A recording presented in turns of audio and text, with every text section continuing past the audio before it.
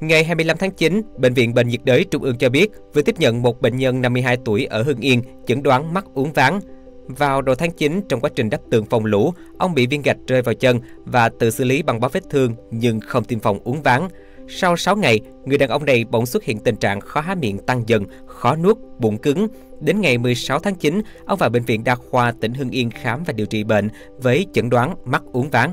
Do không thuyên giảm, ông được chuyển tuyến điều trị tại Bệnh viện Bệnh nhiệt đới Trung ương vào ngày 23 tháng 9. Lúc này, ông đang trong tình trạng tăng trương lực cơ không kiểm soát, miệng cứng, chỉ há được 1,5cm. Vết thương ở mu bàn chân phải của bệnh nhân có kích thước nhỏ 0,5cm, miệng khô, đóng vảy, không bị sưng hay viêm mũ.